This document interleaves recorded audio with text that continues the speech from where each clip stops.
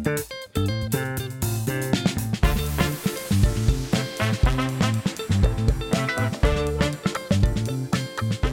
uh, I'm Charlotte Scott. I work in the Christian Aid uh, Church Relations team, and I had the very great privilege of visiting Zimbabwe in 2017, uh, meeting Tiri, who we're going to hear from uh, today.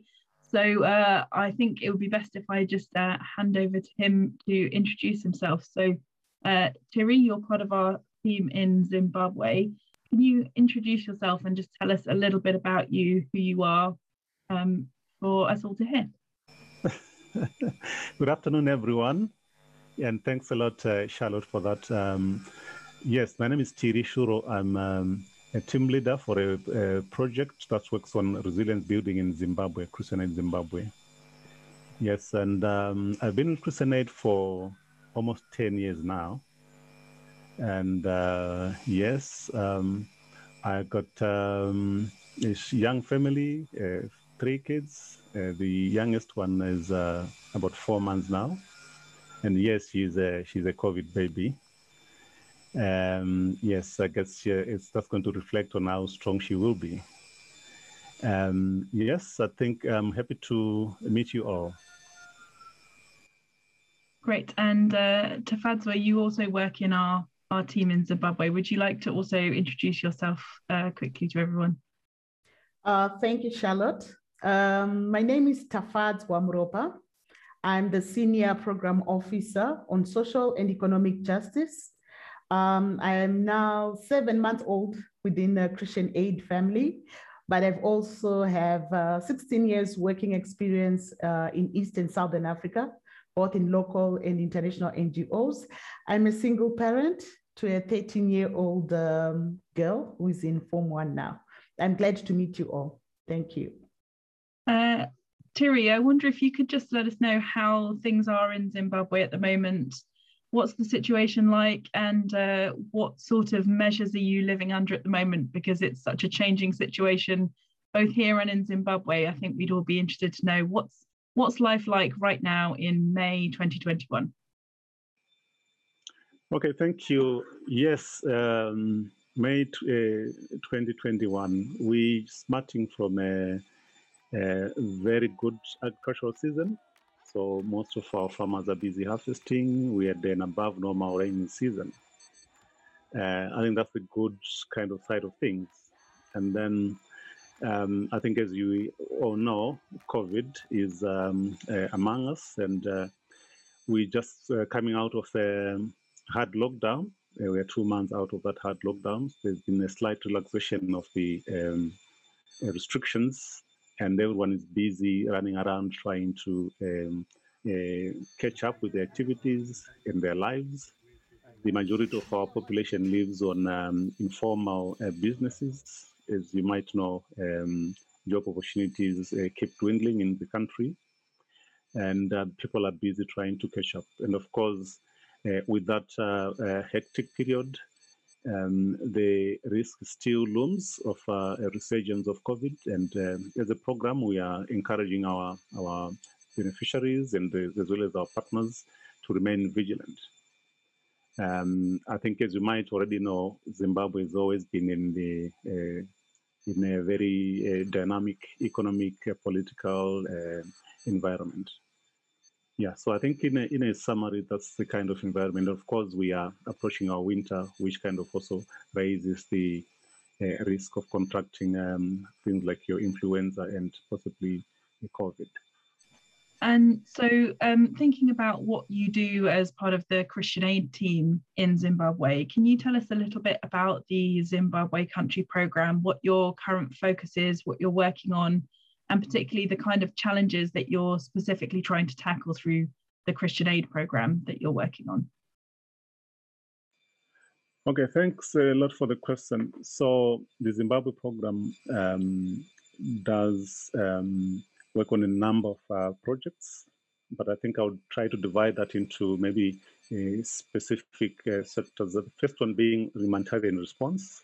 Um, we respond to mainly climate related uh, shocks and of late, we responded to the cyclone um, Idai, as well as uh, cyclone Chalane, where we provided um, non-food items to those also that were affected by the cyclone. We also provided shelter. We went in with uh, food as well to provide relief to those communities. Uh, beyond that, we also have a, a, significant number of projects that work on um, improving our um, our beneficiaries' uh, uh, resilience. Uh, in other words, improving their agricultural and non-agricultural enterprises, help them access clean water, help them um, protect their livestock from diseases, etc. We also work with young people, or youths, um, on um, vocational skills and uh, small enterprises. We also work on um, uh, governance programs where we try to support our beneficiaries in, increase their voice. Uh, and one of our partners that uh, uh, help us do that is actually in the in the uh, on the call. I guess we have an opportunity to speak to her. Um, that specifically talk to um, the environmental issues and supporting communities that are especially affected by uh, mining activities. Yes, I think in a nutshell, that's what we, we do. So you can imagine with all these um, um, climate change related challenges as well as COVID, and of course the um, ever changing uh, economic context. So we've been working a lot on um, strengthening the our community's ability to respond or to deal with shocks when they hit them. And beyond that, we've also been working with them to strengthen their uh, livelihood sources, to help help them improve their agricultural production, help them improve their animal, small animal production, help them uh, with clean water. Uh, for example, we have uh, supported communities build weirs and we've drilled boreholes for them to access water. We've also, like I mentioned earlier, worked with our young people uh, so that we don't leave uh, anyone behind. Our young people, people living with disabilities, um, as well as uh, children. Um, to ensure that our, our interventions are always inclusive. Um, yes, uh, some of the items that we've been working on lately in terms of um, improving the voice of the communities is around um, environment, the environment that um, they, they that that they, they, they, they depend on uh, especially uh, against the uh, corporates that come into mine. Uh, to ensure that they get benefits out of those uh, that, that, those extractive uh, um, industries, to ensure that um, the even when they are part of the mining, they do that safely, and ensure that if they, they have a voice around whatever mining activities, they have that space to to to voice out their their concerns. If Tafadzwa, if you would like to uh, to answer this one as well, what's the best part of your job working with Christian Aid in Zimbabwe? Uh, thank you so much, Charlotte. Um, the best part uh, for me working with Christian Aid in Zimbabwe has to do with um, working with different partners who are tackling uh, a number of issues, which Tiri has already um, alluded to. And what makes it so unique is that um, it gives one an opportunity to be open minded and be able to listen to what partners are encountering on a day to day basis. And also um, appreciating the working environment, uh, which um, emphasizes around um, appreciating and um, acknowledging each person's uh, dignity um, as both men and women are equal before um, in, in the eyes of God. So that, that value system is also entrenched, not only in the work that I do, but also in the communities that I uh, meet with whenever I go um, in the field. And then lastly, um, because Christian Aid is a global um, movement, um, I get the, the joy of uh, listening um, to my colleagues in Latin America, Asia, um, in the UK, in Ireland, and also in other parts of Africa. I get to enrich in my experience. I get to listen how um, other country programs have managed to encounter similar contexts that we're encountering as well. So it is a, it is a very good space for me. I thank you, Charlotte. Over to you. Oh, well, thank you very much. Um, I wonder, um, I think we have uh, we have Joyce from our partner ZELA on the call as well. So um, I wonder, uh, Tafadzwa, do you want to, to briefly introduce uh, Joyce and how you work together as the Christian Aid program and the partner? And then Joyce, introduce yourself and tell us a little bit about you and your work uh, with Christian Aid. Uh, thank you, Charlotte. I would like to introduce you to Joyce Machiri. She is a senior program officer uh, at the Zimbabwe Environmental Law Association, uh, in short, ZELA, which is a local organization that advocates for environmental rights across the country. Um, Joyce is passionate around issues of environmental justice and also amplifying the, facilitating the amplification of the voices of the poor, especially for communities that have been affected by mining um, in Zimbabwe of late. So with uh, through the work that we do as Christian Aid, we've been supporting ZELA to ensure that um, they work with communities and they facilitate that space where um, the communities affected by mining can engage with the government and mining companies in order to come up with lasting solutions to the challenges that come by as a result of mining. Um, I wouldn't want to say much. I would like to invite Joyce herself to explain more about the work that she's doing. Uh, thank you, Charlotte, over to you. Well, I think uh, over to Joyce. Joyce, if you're happy to introduce yourself and tell us a little bit about your role, that would be great. Thank you. Thank you, Tafadzwa. Thank you, Charlotte. Hello again, everyone. Uh, as introduced, my name is Joyce Machiri with the Zimbabwe Environmental Law Association. I'm a mother of one. Uh, my daughter is one year, seven months old right now. And um, let me just talk briefly about uh, what ZELA do. Uh, ZELA is a premier public interest environmental law organization which seeks to promote environmental justice, sustainable and equitable use of natural resources, uh, democracy and good governance in the natural resources and environmental sector. Um, and ZELA's work is mainly anchored on a core group of rights that are reflective of natural resources governance, namely the environmental, economic, social, and cultural rights uh, which uh, mainly uh, referred to as the EESCRs. And to achieve um, its mission, ZELA uses uh, various strategies, which include legal and policy advocacy, community-based natural resources, management approaches, investigative and evidence-based uh, research, litigation, community monitoring, uh, community training and capacity building, as well as conflict resolution. And our work spans um, over helping poor communities to assert and claim their environmental, economic, social, and cultural rights within the natural resources and environmental sector. And we also seek to ensure that environmental and natural resources management policies, uh, strategies, and legal frameworks uh, respond positively to the needs of marginalized women, uh, men, and youths living in urban and rural communities. And our work cuts across different environmental sectors such as the mining, forest management, wildlife management, water management, and provision of adequate social and environmental services in urban areas, that is safe and adequate drinking water, shelter, energy, waste management services, and uh, land for urban agriculture, among others. Fantastic, and such a broad uh, amount of work. I remember coming to your offices when we uh, visited Zimbabwe in 2017 and hearing all about the work and and being blown away by the breadth and the depth of, of everything that you're doing. Um, I wonder whether just to help us kind of get an idea of the, the sorts of change that you're able to get through this work, do you have um, a case study or a story of a particular community um, that you can share so we can kind of get that more personal picture as well as the, the fantastic overview that you've already given? Uh, thank you uh, for that. I think as uh, was speaking earlier on, he talked about uh, giving communities a voice.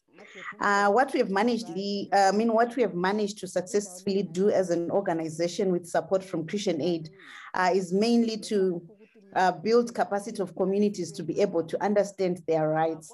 And they've become project champions uh, and several community leaders now understand and articulate rights to food, life, education, clean water, health, environment, right to education, right to benefit from diamonds, um, and other minerals being mined in Zimbabwe, and they now have the ability to investigate rights uh, violations by community monitors. Uh, one case uh, that I can talk about is the case of the communities in Marange, where we have diamond mining. And uh, with this community, with support from Christian Aid, we've uh, mainly been uh, building capacity of these community monitors and mining communities uh, on their environmental rights. And we have uh, been mainly uh, implementing an uh, initiative which we title Independent uh, Environmental Impact Assessment, whereby um, we have trained communities to be able to independently monitor what we call environmental impact assessments that are done by mining companies before they start mining in, uh, in any community. So you find that um, there, there has been uh, some companies who have been mining before, but uh, of late, uh, sometime in 20, um, about three years, four years back, uh, there has been a coming in of the new uh, of, of Zimbabwe consolidated diamond companies uh, taking over from various companies that have been mining before in Marange um, after a decision that uh, they have they, they haven't really been accountable to to what uh, to their mining activities. So the communities now, with their knowledge that they had, actually the Zimbabwe Consolidated Diamond Company started mining without an EIA, and communities engaged um, ZCDC, uh, that company that started mining on this, uh, about their EIA, which they failed to um, produce. And they actually had to engage with EMA and with the support of ZELA. Uh, I think earlier on I mentioned about the uh, in, one of the initial uh, interventions that we do, which is litigation.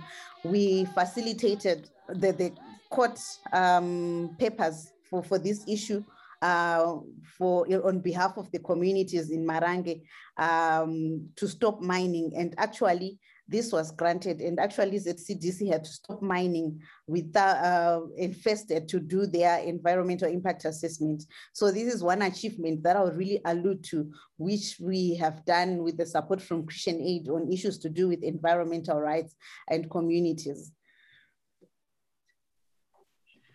Fantastic. And I think so much can be done by giving communities um, knowledge and skills to be able to uh, defend their own rights and hold these bigger companies and governments to account for the services they should be providing. So that sounds like a fantastic project and uh, community intervention. So thank you so much for talking about that. Um, I'm aware that um, time can be against us with all of these things and we could chat for such a long time. Um, but I just wonder if you have any thoughts on what we can be doing from the UK perspective, from the UK churches as, as part of um, Commitment for Life? What can we do from here to kind of support your work, to stand in solidarity with you and with the communities that you work with?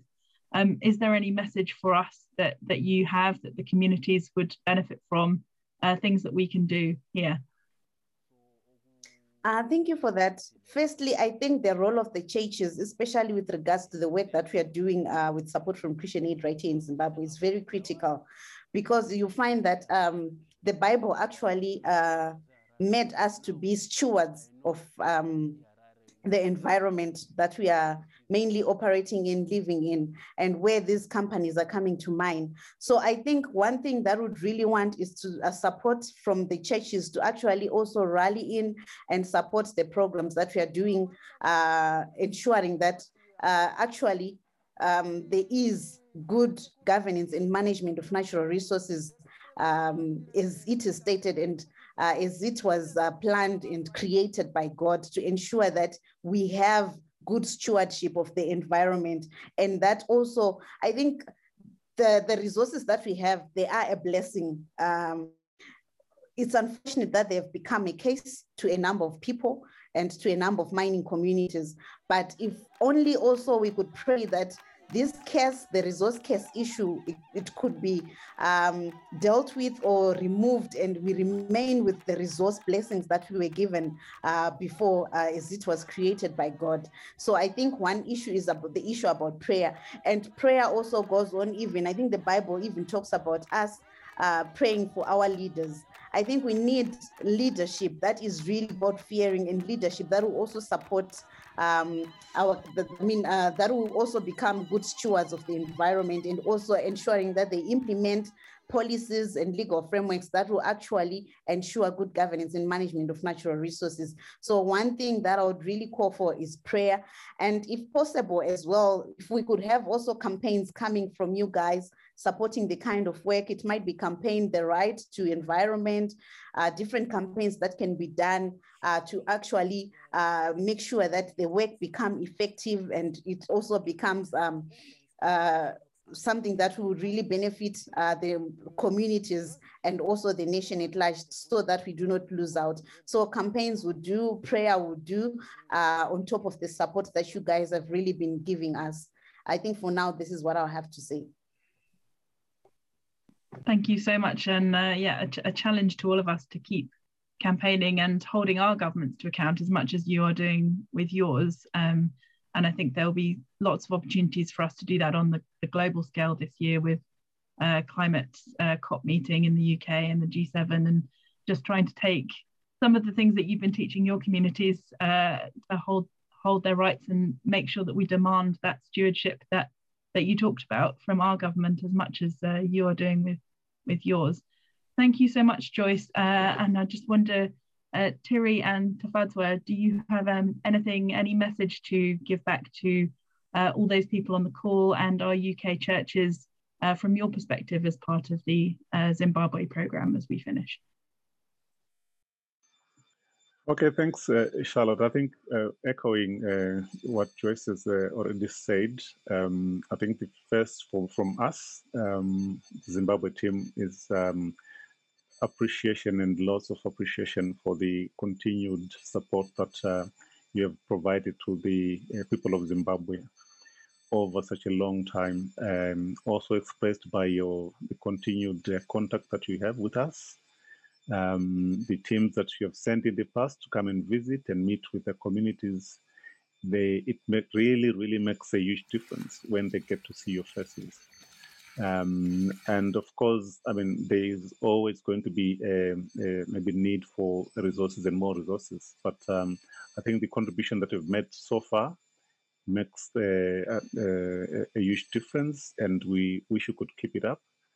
And of course, in addition to the material resources, um, your voices as well, like Joyce has uh, mentioned, um, as much as you possibly can, supporting campaigns that um, you're part of, uh, campaigns that happen in your neighborhoods, uh, just so that you remain in solidarity with uh, uh, communities that are really struggling to make their uh, livelihoods firm down in Zimbabwe.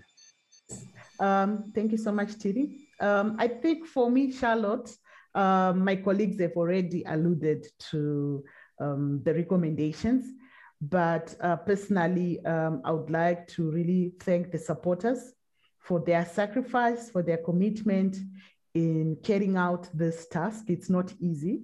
And I can imagine within the COVID 19 context, um, you know, life might be difficult. It makes it even ask one can ask your, uh, yourself whether is this still worth it? Is, is there god at the end of the day? But i think uh, from our end we we really appreciate the effort um, and all the service and all the uh, drive in ensuring that um, the marginalized communities in areas where Joyce's organization work can be able to live a life of dignity. And especially at a time when um, COVID-19 has actually is actually worsened the economic um, situation in Zimbabwe, where children, people with disabilities are found at the end are the ones that have to bear the, the negative impacts of, um, of COVID-19 as well. So we, we, we sincerely hope that um, when COVID-19 context, when the environment allows for church solidarity across um, borders, it would also be an honor to, to see some of the supporters come to Zimbabwe and witness uh, the good work um, that you are doing and the transformation that is taking place at the local level. And we continually, um, we are so grateful and we hope that we'll keep in touch and you'll always be in our prayers. Thank you. Thank you, and, and thank you all of you, Tiri, Tafadzwa, and Joyce for for joining us. And uh, I just want to say we're so grateful for everything that you do. I, I don't think the gratitude ever goes one way. We're we are so indebted to everything that you do um, to, to make those changes and to, to give communities those voices and those chances to change things. So thank you so much for all of your hard work and for joining us to talk about it today.